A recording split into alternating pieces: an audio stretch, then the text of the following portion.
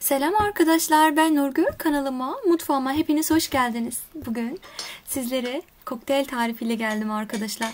Hani hatırlarsanız sizlere tarif vermiştim çilek nasıl saklanılır diye.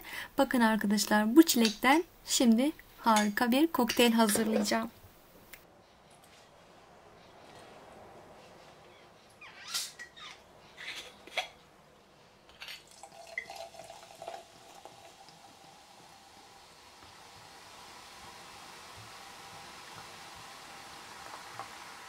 Evet gördüğünüz gibi çilek konservemizden yaklaşık 3 yemek kaşığı kadar bardağıma koydum. Üzerine de su koyuyorum arkadaşlar. Soda, asitli su ve bir tane de limetli dilimiyle kokteylimiz hazırdır. Müthiş lezzetli oluyor arkadaşlar. Biraz da limon sıkabilirsiniz içerisine. Şahane oluyor. Kesinlikle bu lezzeti denemenizi tavsiye ederim. Nasıl yaptığımı da sizlere kısaca bir anlatmak istedim. Çilekleri bu şekilde alıp ayıkladıktan sonra yıkadım.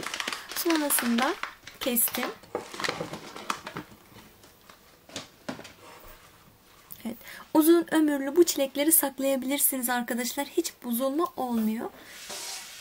Sizlere de açık göstermek istedim. Gördüğünüz gibi videomun başında da Konservemiz şahane görünüyor. Asla ekşime, bozulma, tadında değişiklik hiçbir şey yok.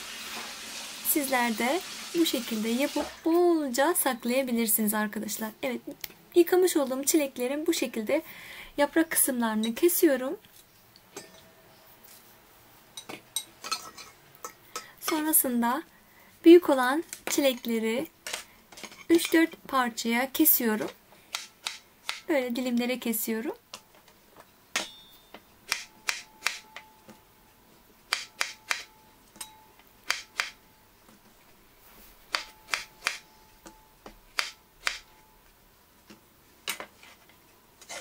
Evet. Yaklaşık 600 gram kadar çilek kullandım. Görüyorsunuz arkadaşlar.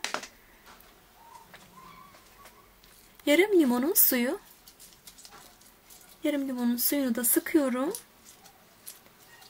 Rengini kaybetmesin diye. Ve üzerine de yaklaşık 600 gram kadar şeker ekliyorum. Bu şekilde dilerseniz bir gece sabaha kadar bekletebilirsiniz. Dilerseniz sabah yapıp e, sulanana kadar saatlerce 3-5 saat bekletebilirsiniz arkadaşlar.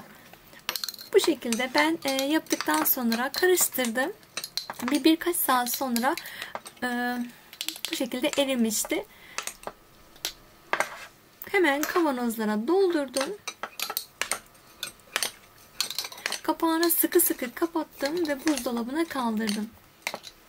Eğer siz içimiz rahat etmez, eğer bozulur diye düşünüyorsanız arkadaşlar tencereye bir havlu koyun. Üzerine de yaklaşık 2-3 bardak su koyun ve hazırlamış olduğunuz bu konserveleri kapağı kapalı olarak tencereye koyun. Yaklaşık 20 dakika orta ateşte kaynatın.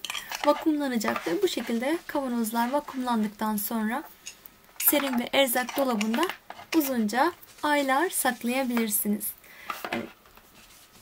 Ben bu şekilde yaptım. Buzdolabına kaldırdım. Bu da e, çilek kompostosu yaptım arkadaşlar. Bu komposto da şahane oldu. Diğer videolarımdan tariflerimi izleyebilirsiniz. Evet, umarım beğenmişsinizdir. Bugünlük bu kadardı. Bir yayınımızın sonuna geldik. Bana destek olmak için videomu beğenip aşağı yorum bırakmayı lütfen unutmayalım.